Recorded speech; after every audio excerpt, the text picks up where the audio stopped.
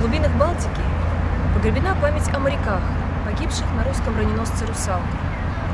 Русалка, столько боли в сердце в своем ты каменном хранишь, Рукою тонкую вдаль моря, указывая нам, всегда молчишь. Там, далеко, в морских глубинах, был погребен корабль один.